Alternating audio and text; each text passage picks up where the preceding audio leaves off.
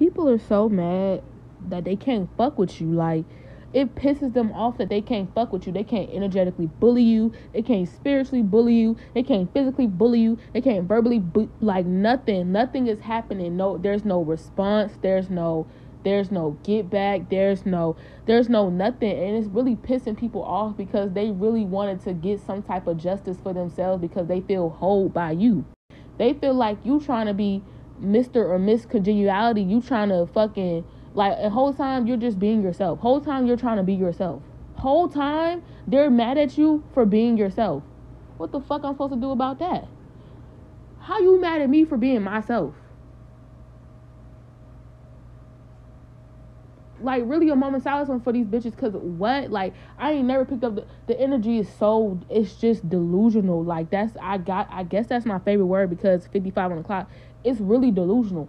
How are you upset because the collective is being themselves?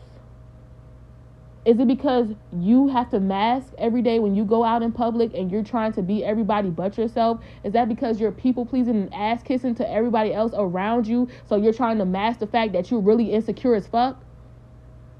And so now you're trying to project that on the collective and make the collective feel like they're not fitting in when you feel like you don't fit in with the collective? Do you need a hug? Like what the fuck? Yeah, 131 o'clock. Yeah, th- this is the current energy. Like someone is just upset. Like it's a whole. It's a lot of. It's a lot of mad ass energy up in the building. Like, and it's just like, okay, well, what you gonna do about that? 144 on the clock. What are you gonna do about that? You want to be chosen, but look at how you moving. Look at how you moving.